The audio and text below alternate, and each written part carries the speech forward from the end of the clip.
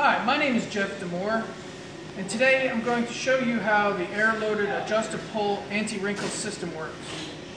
We received this material, it's a non-woven material, and we placed it on our test stand. Um, we have it on our air shaft, and the air shaft is uh, loaded with air, so when you inflate the air shaft, now that core is locked to the air shaft. Um, this air shaft is mounted in ball bearings, and then we also have a, an air-operated uh, tension brake here that's set extremely low. It's probably at its, its lowest tension setting, as, as low as we can get it. Um, on the machine, we're coming off the unwind. We're going to go around this idler roll, and we have it going across two idler rolls. Now this, this roller here, everything in this machine is lined up. The, the rollers are all lined up properly. Uh, they're parallel, and they're um, uh, uh, uh, balanced and they're also level in the machine, except for this roll. This roll we've actually skewed on purpose. So if you take a look at where this mounting block is mounted relative to this machine frame, you'll see that there's a, a good amount of distance here, but on the other side of the machine, that mounting block comes up flush to the machine frame. So what we've done is we've skewed this roll on purpose to this roll. So as we're unwinding, um, I'm trying to generate wrinkles here so that you can see how the Adjusta-Pulls, which are mounted right here, they'll pull the wrinkles out. So hopefully um, within this video we'll show you them. These are the Adjusta-Pull anti-wrinkle system, and this is our newest model. It's air-loaded. So the uh, nipping action of the Adjusta-Pulls is controlled with uh, an air valve. So you flip this air valve, and they open and close with air. The air pressure that goes into the air cylinder that's loading the adjustable pulls is, is adjustable with uh, this um, pressure regulator. So it's a pressure regulator and they're mounted on both both adjustables, the left and the right hand set, both have the same assembly. So you, the, when, they, when they come to you, they do come with the valve and the pressure regulator. Pressure regulator allows you to adjust very accurately how much uh, loading you have in the nip assembly. You can adjust it to have very minimal pressure. Um, I don't know if you can zoom in here, but you'll see as I turn this knob, you'll see that pressure go down. And you can adjust it to very minimal, very minimal pressure. So that would be a very, very, that's probably less than 5 psi. Right now I have them set, they should be set around 30 psi to start. And then you can also turn them up to about 90 psi is about the maximum. Um, the, we're going to come out of the adjustable pull assembly, we're going to go around another idler roll, around another idler roll, and another idler roll, and then we're going to come onto the rewind stand. This is where we're going to rewind the material, and these are CACs, uh, safety chucks that holds the rewind shaft in place. The adjustable, this adjustable assembly has um, the uh, mounting bracket. It's an optional mounting bracket. This, is, this system has the optional mounting bracket that allows you to adjust the angle simply by turning a knob. So you can adjust how aggressive these adjustables are by turning a knob. And there's a dial indicator on this um, system that allows you to set very accurately the angle of each nip of each nip in the adjustable pull system. Um, I'm going to set this at about 15 degrees. 15 degrees is a good place to start. I haven't run this material. This is going to be the first time, so we're going to start it at 15 degrees and see how aggressive the adjustables are on the web. They should be relatively aggressive.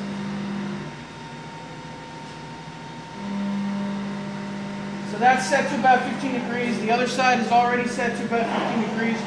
I have the air pressure on both systems set to about 30 psi. Um, again, we can go down to about 5 psi, probably max out about 90 psi. But I'm going to start at 30 psi, see how well it grabs and grips the web. And um, so we're going to start up the machine.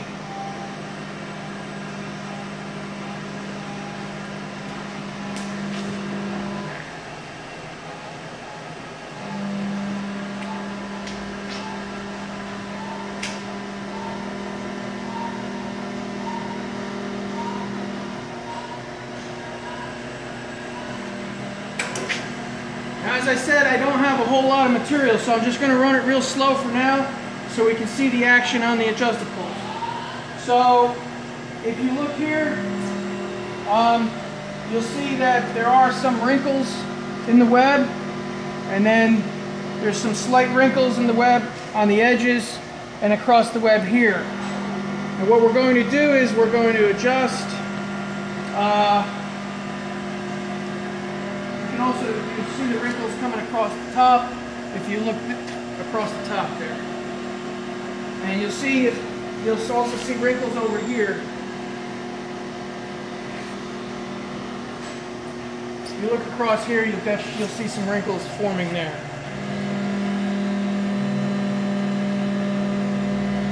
So now what I'm going to do is I'm going to turn on the adjustables and you'll see what they do for the web.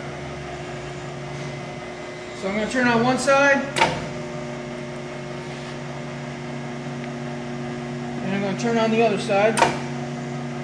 And now you can see on the output side of the Adjusta-Pulls, this is completely wrinkle free. So if you look at the top here, there are some wrinkles coming across the top here. The spreading action does start to take place. The anti-wrinkle action does start to take place in the entry span to the adjustables. And then on the output side, you can see that the web, the, the, the, um, the non-woven is perfectly flat.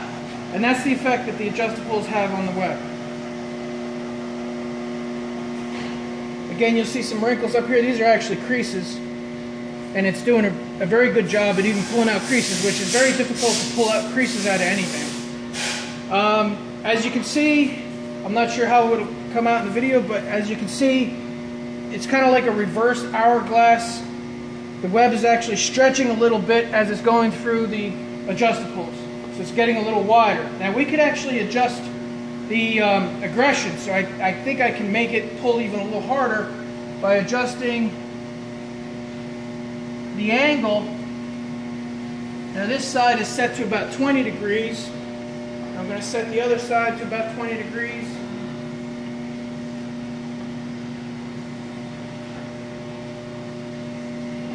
Now you can see it really pulls.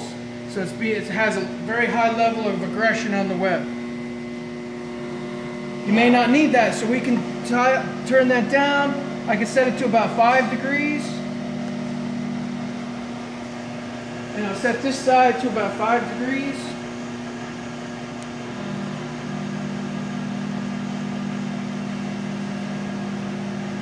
And you'll see that it's a lot, lot less pull but it also still pulls wrinkles out. So you have that adjustment available with the adjustables.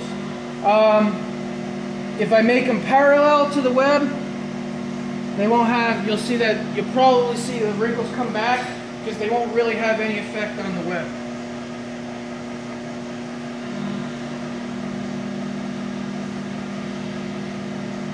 So those are relatively parallel to the web, so they're not really pulling, they're really not doing any pulling. I can probably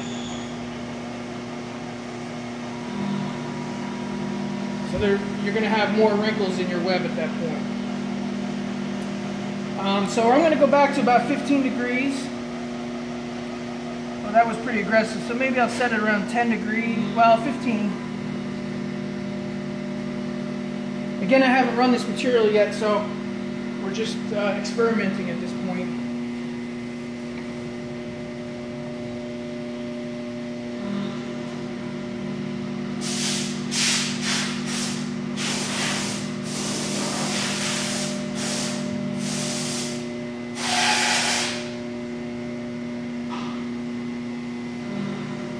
So you even see some creases. You can see these wrinkles coming across and you'll see that the adjustable pulls really do a good job of pulling those out.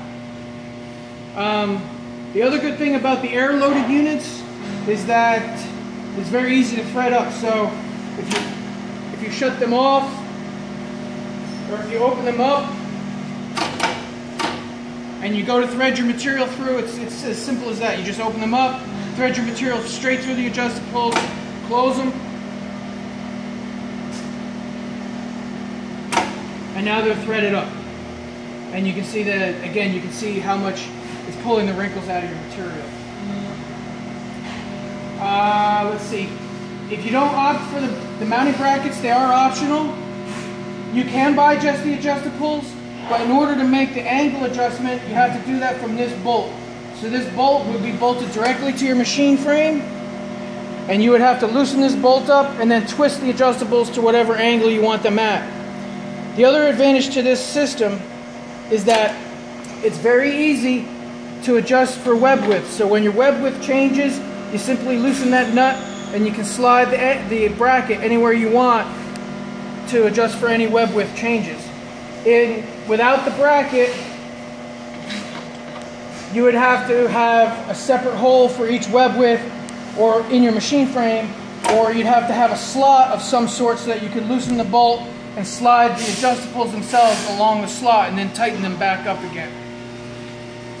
So uh, we do have some material left, so what I'm going to do is I'm going to run this machine at a higher speed so you can see how much uh, anti-wrinkle aggression. The other thing is, one of the things you'll notice, you'll see how these units work. If I shut off this side, you can now see this web is, is moving sideways because this one adjustable is engaged and it's literally pulling the web to one side. So when the, both Adjusta-Pulls are engaged, they're having that effect on the web. They're pulling from both sides. You can see how far the web has moved into that adjuster adjustable. And you can see how far the web has moved out of this one. And you can see in the wind, you can see where it's being pulled to one side because I only have one side engaged. That's exactly how the adjustables work. That's the concept behind them. So when I engage that, now you're going to see this web is being pulled back and then it'll, because each side is, uh, angle is the same and the air pressure is approximately the same, everything centers going through the adjustables. So when you're in the running condition, you can adjust these adjustables to give you more or less anti-wrinkle aggression. But you're going to want them set at relatively the same angle. Because if one side is set at a greater angle than the other side, it will have a tendency to pull it to one side because that's the concept of, in which they work. Since we have some more material, I'm going to run the machine at a higher speed and we'll see what happens.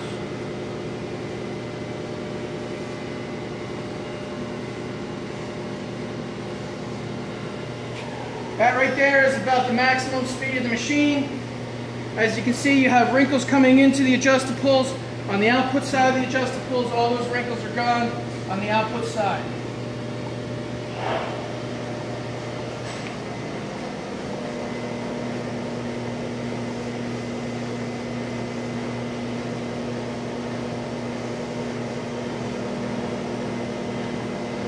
And we're just going to let that run out. You can see a lot of wrinkles up in this area, up, up here. You can see all those wrinkles being pulled out in this entry span to the adjustables. So you want to have a nice long entry span if you can. There, a lot of the anti-wrinkle aggression takes place in this span. The longer this is, the more pull you'll get. But you'll see on the output side, the web is nice and flat. So there's a lot of wrinkles going across here, and it's flat on the output side.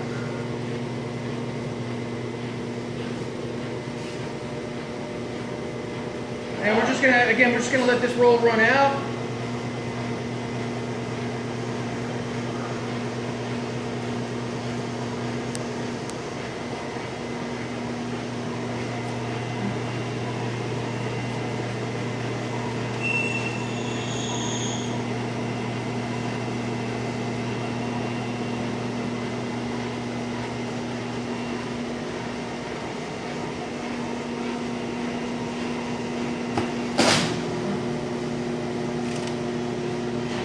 Rolls run out, I'm going to shut off the machine.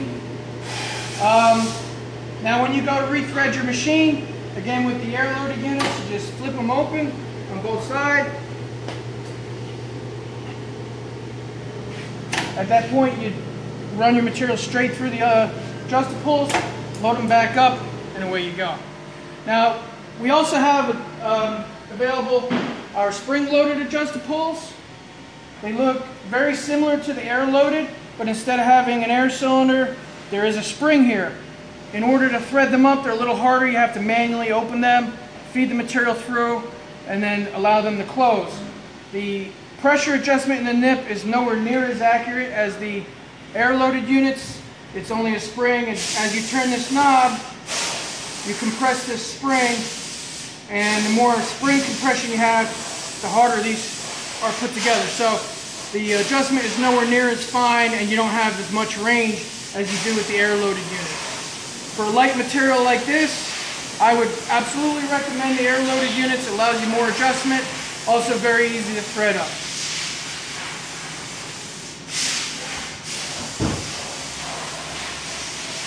Thank you for watching the video. I hope I've answered any questions you may have.